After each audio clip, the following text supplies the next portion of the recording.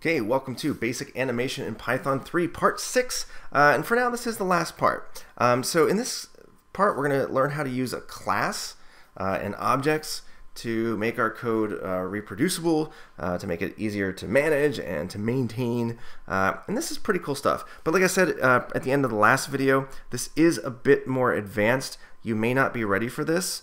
Um, you should know something about classes before coming into this. Um, there's a really good uh, class tutorial by Socratica. If you look that up, they have a really, really good one, which is what I show my students actually. Okay, so let me just show you what we have so far, in case you're coming back from a break. Um, we have a, basically a little animating uh, character here, and I've called it player, uh, even though it's actually the enemy in uh, Space Invaders. Uh, but those are the GIFs I had. So um, we've been using this whole thing, the idea of a frame, like the current frame that you're on, um, and then frames for animation. So again, we could have Invader 3, Invader 4, Invader 5, whatever. Um, this code will work for anything. But what we want to do is we want to create a class. Um, and a class is simply a piece of code that defines how an object operates. Um, so watch what I do here. So there's actually quite a bit of advanced stuff here. So I'm going to go ahead, I'm going to go create a class. I'm going to call it class. I'm going to call it player. And I'm going to put here turtle, turtle dot turtle. Again, as I mentioned earlier, this is quite a jump up in concepts and coding. Um, so I'm saying the player is a turtle. Uh, it is a child, it's called a child of the turtle class.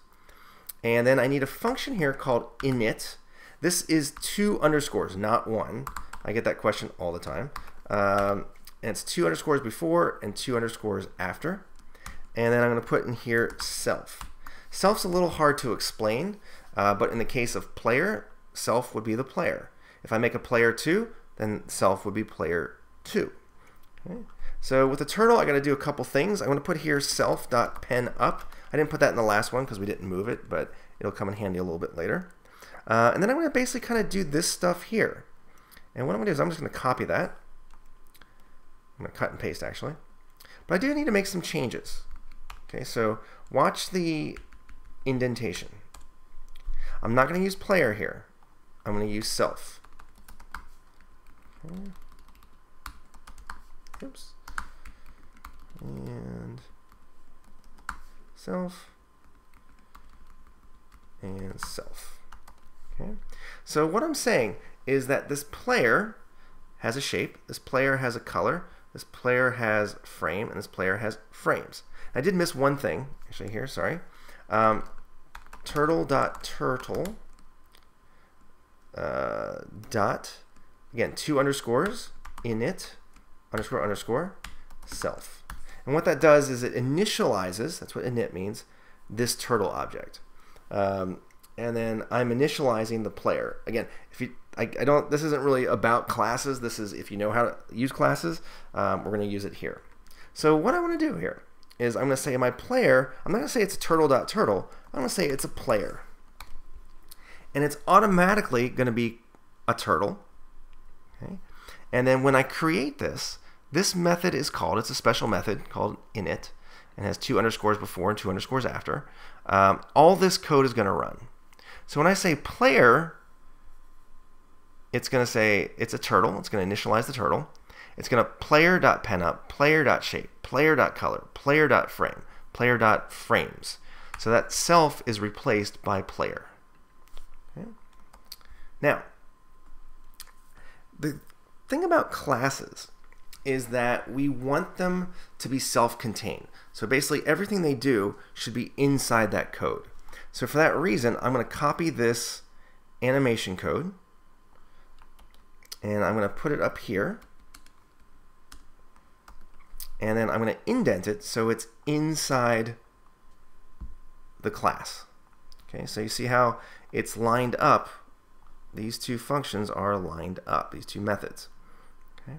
Now, because I'm inside a class, I can't use player anymore. I got to use self. Okay. And you'll see why in a, in a few minutes, I hope.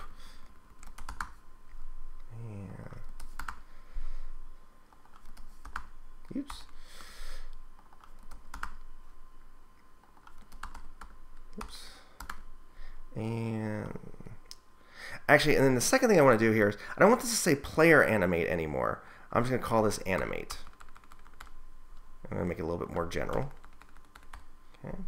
And in this case, it's got to be self.animate because I want the player to animate itself. Okay. And then down here, this is going to be out now. Now that I'm outside the method, it's player dot, not underscore, dot animate. Okay, so I'm going to run that, and hopefully that will keep working. Error. Animate takes, okay. So when you see this error, animate takes zero positional arguments, but one was given. In this particular case, because I'm inside of a method, I got to put self. Okay, again, it's a bit, bit much to explain here, but uh, trust me on this one. So I'm to hit function F5 in Geany, and now it's running. Okay, so you may be wondering, why did we do all that work to convert it in, well, all that work, but why do we convert it into a class? So if you remember what I said earlier, um, what if I wanted to have two players, or three players, or four players? Um, in the original code, I would have to copy, change everything to player 2, if I want player 3. But what I can do now, this is where it gets really cool, is I can say player 2 is a player. Okay, that's where this player comes from here. And then I'll say player 2 go to, I'll have it go to 0, let's see, 100. Actually, I'll have it go to minus 100. We'll do it, keep on the same level.